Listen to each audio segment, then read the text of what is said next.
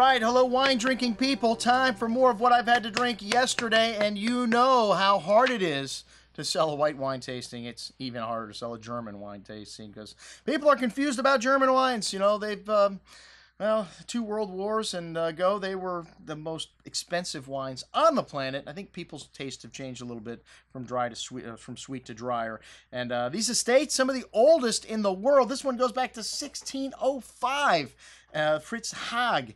And uh, wow, wonderful wine. So let me tell you, these are uh, classic Mosels. The QBA Riesling 2013, low pH, lively acidity. This is the entry wine. They call it QBA. And uh, they have 18.5 hectares, all on steep slopes, 70% grades. Wow, man, it is hard to work on grades that are that steep and uh, they hand harvest all the Riesling here. So these wines seem inexpensive when you look at the effort that it takes to make them. This classic green apple, lime, citrus, a hint of orange zest on the nose, very light and crisp on the palate, nice minerality, a short but pleasant finish, a very good little entry level Riesling at 23.50. Then the Brauneberger Riesling Kabinett, and the classic way they used to describe wines is with the ripeness level when they pick Kabinett uh, being a little riper than the QBA. This is a combination of two vineyard sites, a little lighter, more feminine style, lots of slate here, a good amount of that crushed slate like rock showing on the nose, a nice touch of white pepper spice and green melon, lime citrus, juicy sweet fruit here, sweet tart.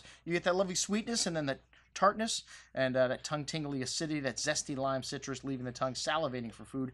Excellent juice, definitely a step up here in concentration at $30 and in price. Then the Brauneberger single vineyard, Juffer Sonnenuhr, and uh, this is Spätlese, so a little riper, very steep vineyard site, and 7.5% uh, alcohol. That's how you know there's more residual sugar in this, but wonderful depth and balance due to the acidity. This wine's got a beautiful bouquet of lime blossoms, white peach fruit, and a laser-like acidity showing wonderful concentration of uh, sweetness, but again, lovely balanced finish, that creamy minerality shown at the end, the slate character, even bigger on the second day. Excellent juice at $45. And then the Juffer Sonnenuhr gold cap Auslese.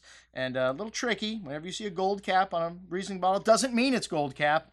But um, this one is gold capsule and wonderful concentration here. You get that lovely honey dried fruit, a little botrytis in this wine.